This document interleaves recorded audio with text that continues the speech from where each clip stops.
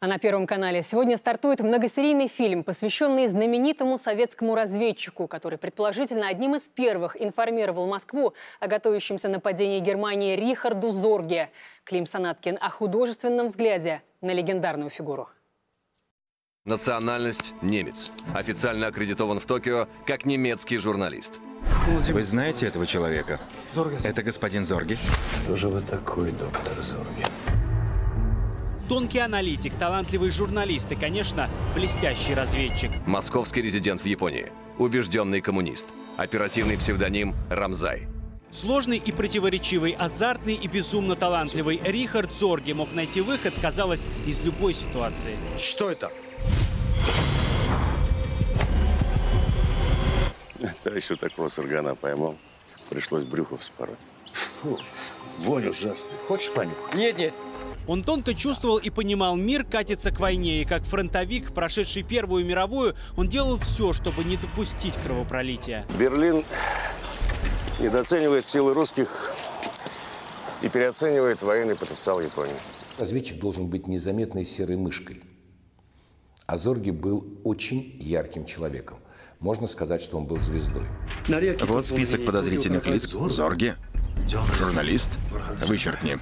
По сохранившимся данным, Зорги был одним из тех, кто сообщил Сталину о готовящемся нападении Германии на Советский Союз. Его заслуги ценили, но всегда держали на расстоянии. Сталин сомневался в том, что он сто процентов работал, так сказать, на Советский Союз. Нам нужны прямые факты, товарищ Ворошилов.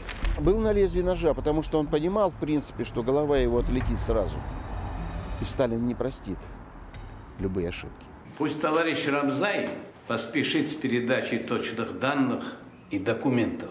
Нельзя ему доверять полностью на слово. Но Зорге всегда был предан и оставался человеком, даже когда под угрозой была собственная жизнь. Нам приказано уничтожить Люшкова.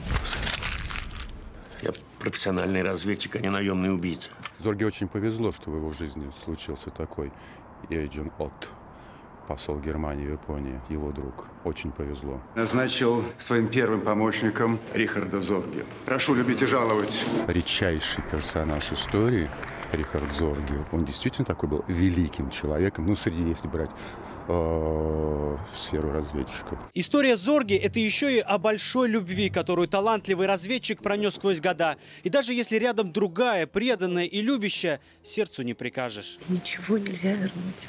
Я замужем, у меня двое детей. Я прошу тебя, прошу тебя, не разрушай мою жизнь. Это история любви. Но еще это история очень верных отношений людей, которые понимают, что они делают. Судьба твоей жены, твоя судьба сейчас в твоих руках. Что я должен делать? Это история выбора. И это история невероятной преданности не только друг другу, но своим друзьям. Встретиться с Зорги, получить от него контакты, ну, затем устранить его. Окажется ли дружба сильнее приказа? Сможет ли Зорги снова растопить чувство той, что навсегда осталось в его сердце? И выдержит ли удар, который враг готовится нанести? Зорги должен умереть.